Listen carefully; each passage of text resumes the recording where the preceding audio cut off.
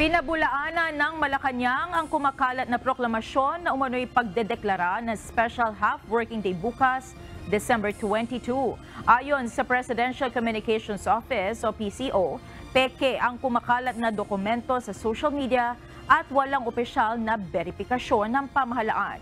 Pinaalalahanan ng Malacanang ang publiko na maging mapanuri at sumangguni lamang sa official government sources para sa tamang impormasyon.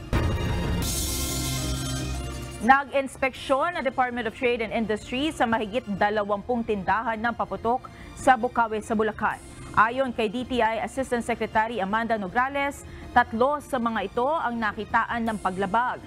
May mga nakitang paputok o pailaw na hindi naman dapat ibinibenta dahil wala sa listahan ng DTI.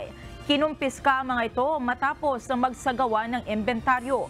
Ayon sa DTI, importante ang inspeksyon para maiwasan ang aksidente. yung nakitaan po natin, nag-issue po tayo ng notice of violation.